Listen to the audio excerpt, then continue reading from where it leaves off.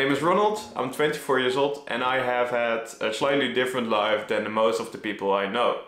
I spent 7 years of my childhood in several foster homes from my 7 till 14 age where I had little or no contact with my parents in the first years. And that may sound crazy or impossible for you, but for me it was a big part of my life. In this video I'll take you into my life as a foster child. I'm gonna talk about what I experienced in this period, what negative sides this had for my life and what I learned from this emotional roller coaster. Let's go to the intro.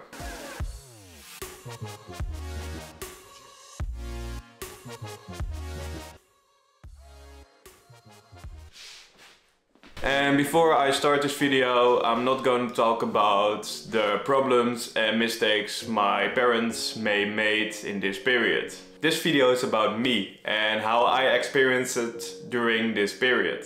Some people may think, what is a foster home? Picture this, you are a 7 year old child and your mother has just taken you to school that day. You are playing with your friends until the teacher takes you out of class because you have a visitor. And the visitor was not my own mother. It was an unknown man I had never seen. That man said that my parents were not doing so well in taking care of me as a child. And I had to go with the man and I was suddenly placed in another family from the town I was from. I will go into this situation in more detail later on. And this fostering is a form of help whereby a child temporarily lives at another family. This child is not cared for and educated by its own parents, but by foster parents. And this is not the same as adopting a child. Foster children keep their own surname, so my father's surname is Foks and that is my surname too. Pretty catchy, right?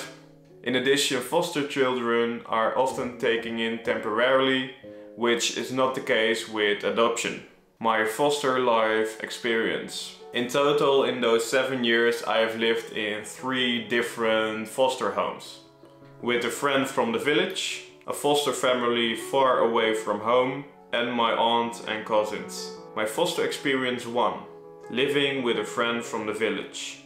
I must say that I don't know that much about my first foster family because it was 17 years ago. Because I was picked up by the man at school, I was told that I could temporarily live with a friend.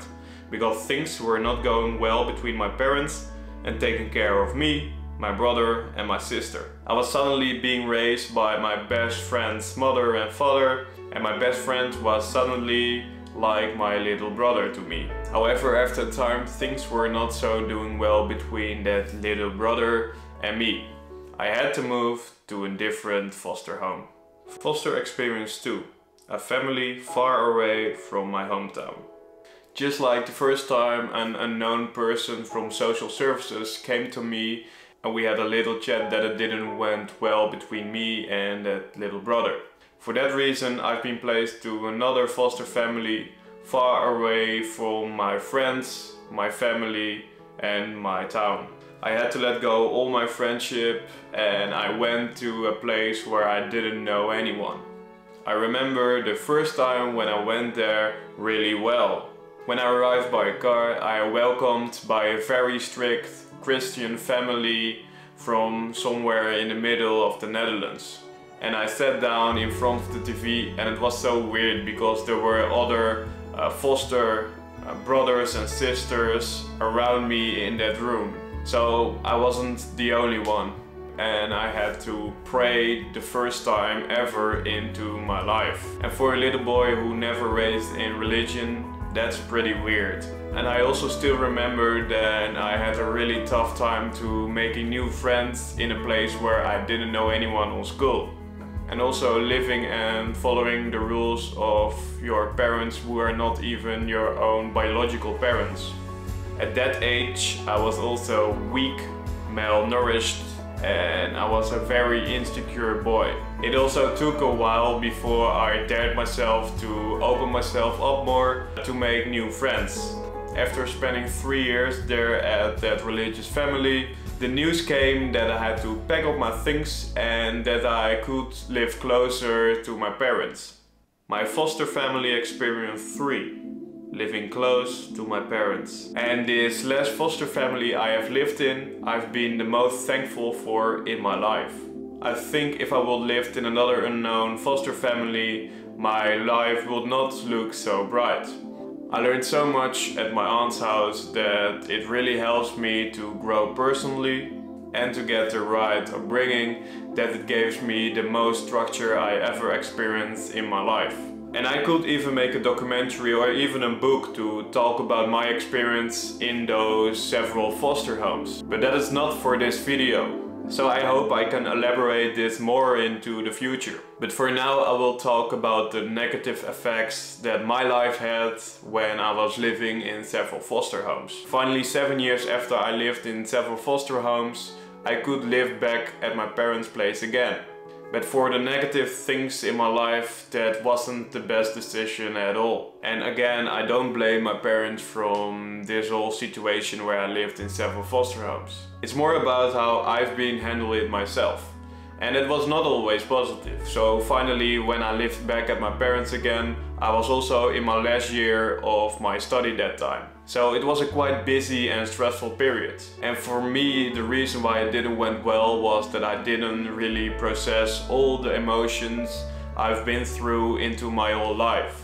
You know, if you look at me right now, I'm really talkative about my emotions and stuff, but when I was first around 14, 15 years old, when I first was living at my parents, I couldn't even talk barely about what I was feeling. Like that stressful period was the first time I got depression. And all those weird situations when you're a little child, you couldn't even like process all the things and the emotions you've been through that time.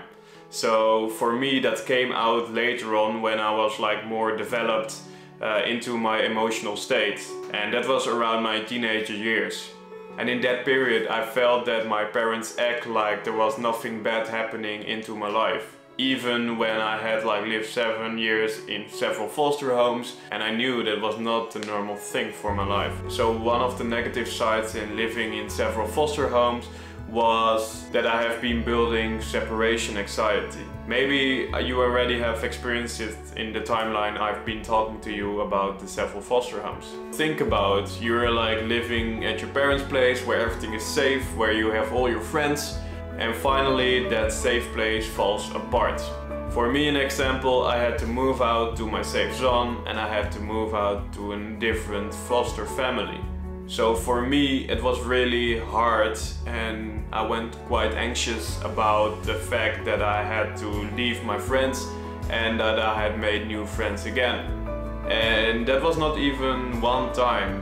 When I was like moving back to my aunt's place, it was like a benefit situation for me but mentally it wasn't really that easy to process because in that period I finally opened myself up to building new relationships but finally when I made those friends I had to stop the relationship because I had to move to another place again. So that was one of the things what really built for me separation anxiety.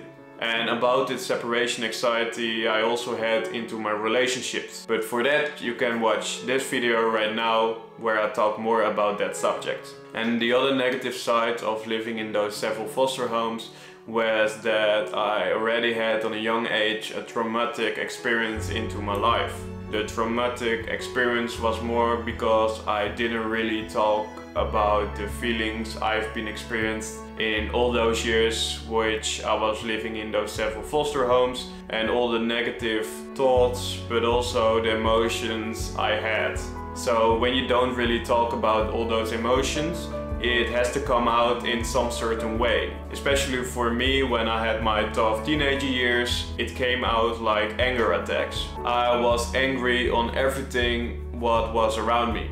So one of the examples was that I was really jealous about my friends who had like normal parents and had like a normal life and my life was completely the opposite. So these were things where I was like blaming my parents about everything what I've been through into my life and that went out into anger and blaming them from everything.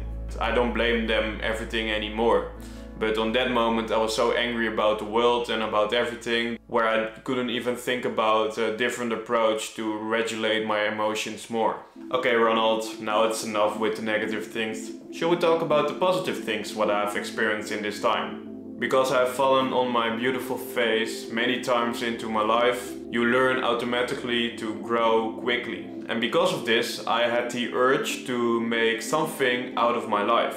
And the other positive side of lived in those several foster homes and the past I had is that I had the ability to turn my insecurity into security. That was because I really had a high drive to score for any achievement I had in my life. The other benefit I had out of this experience in living in several foster homes is that it really helps me to build a very strong mental health and because I didn't really process all the emotions I had into my life, I had to learn to understand myself better and better. But one of the other things what really helps me was self-help books, meditation and also uh, podcasts. So this was the video of this week. So now you know what I've been through in my life. And the last thing I want to say is that everyone has like difficult and hard times into their lives but I really believe that everything starts with you. Like, I've lived seven years of my life in several foster homes. These were external factors why I couldn't even do anything about. The only thing I could do is make my own life better and understand myself better to become a better person. So hopefully I could inspire and maybe help you with telling my story and my life. Thank you for watching and I will see you next week. Bye!